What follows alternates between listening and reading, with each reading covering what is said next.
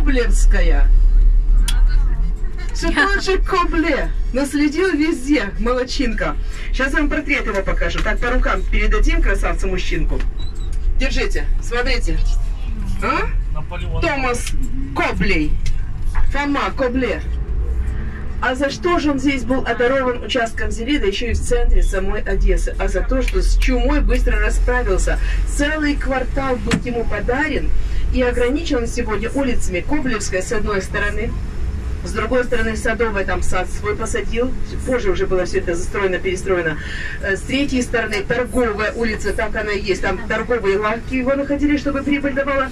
А четвертая улица дворянская, потому что вот как раз такое время интересное, период между правлением Ришелье и перед тем, как Ланжерон на это же место градоначальническое стал, э, Кобле занимал должность градоначальника Одессы и был предводителем дворянства нашего города.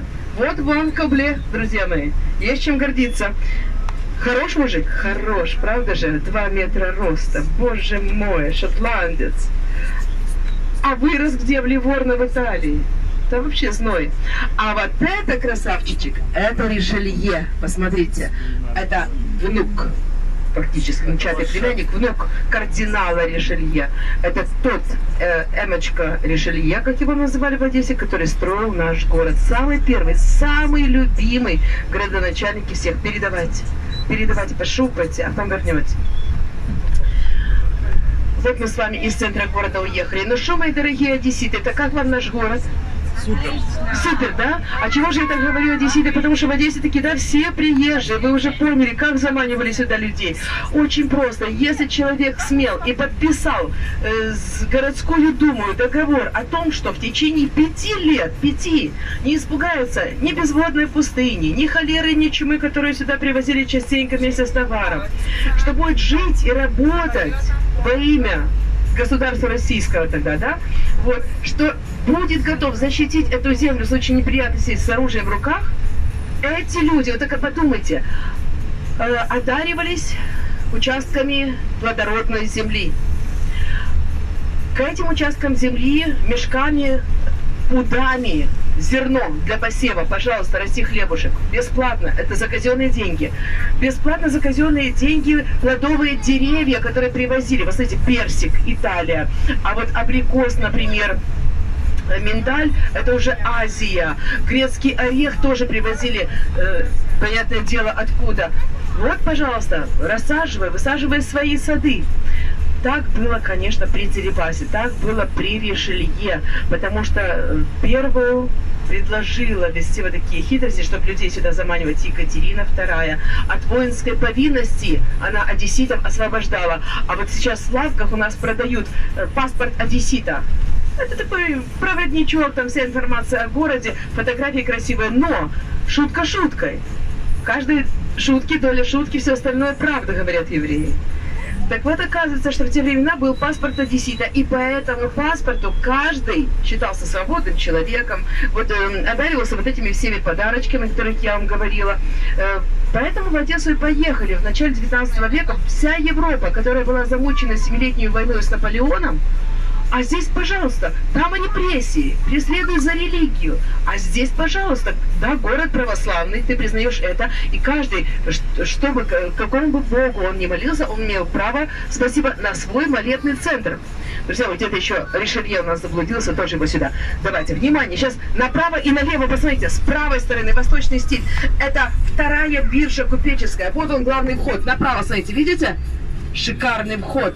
А слева гостиница «Красная» или «Бристоль» строили здание по проекту итальянца Александра Бернардаци.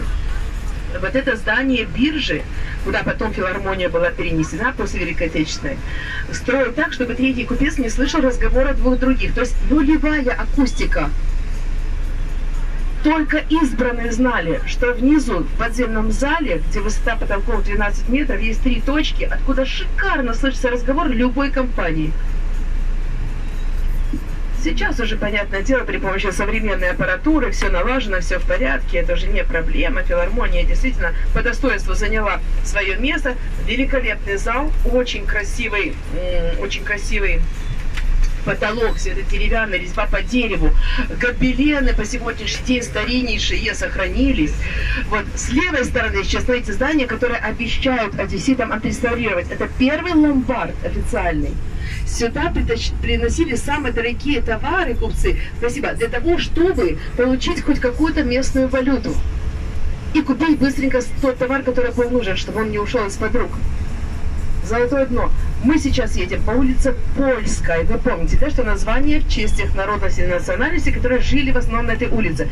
Поляки первыми начали выкупать э, участки земли поближе к порту, чтобы первыми скупать за копейки зерно у чумаков, у бедняков, и тут же перепродавать турку и греку. Слева террасы красивые. Сегодня светло, нам повезло. Видите, с левой стороны. Это начало улицы Дерибасовской. Чтобы она не ушла в воду, чтобы не осела, вот так укрепляли берег. Сейчас вот в таком вот виде, только ступени шире, укрепляют фонтан, территорию большого фонтана, курортная зона. С правой стороны памятник Потемкинцам заметили. Это площадь таможенная, это сердце порта. С правой стороны заезд на таможню. И поэтому у ворот стариннейшие памятники, бюсты Дерибаса слева вы сейчас увидите, а ближе к нам Деволан, его главный советчик, э, военный инженер, который проектировал Одессу, проектировал наш порт. Вот видите, прямо с правой стороны, с правой стороны, въезд на таможню и два бюста.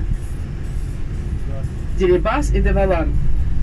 А памятник Потемкинцам. Мы сегодня были с вами на Потемкинской лестнице. Елизаветинскую она называлась поначалу, до событий 1905 года, когда в Одесский залив зашел постующий броненосец Потемкин. Самый большой военный корабль на юге России создан был в Николаеве на палубе. Матросы взяли власть в свои руки мечтали, что они передадут власть одесситам. Он тем говорила, что пикеты солдатские были выставлены на всех подступах э, к порту, не только на лестнице, а люди, желая помочь морякам, давили друг друга в этой вот толчье. Когда судно отошло из Одессы, так и не получив подмоги, в Одессе быстренько за, за, замыли все кровавые пятна и решили навсегда поменять название всех улиц, переулков. Лестница Елизаветинская стала на века Потемкинской лестницы. Вот сейчас, внимание, мы заезжаем на пассажирский мол, а с левой стороны Потемкинская лестница, слева. И отсюда снизу видны только ступенечки, мы с вами говорили. Смотрите, видите? И отсюда снизу она выглядит как усеченная пирамида. Понятное дело, кем она строилась. Главой масонской ложи самой главной, самой большой.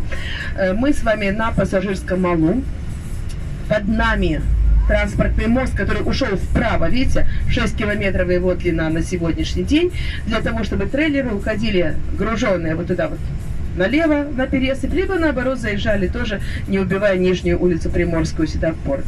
С правой стороны контейнерный мол. Сейчас у нас будет экскурсия, об этом, обо всем вам расскажут. Но, если я вас очень прошу, мы спустимся вниз.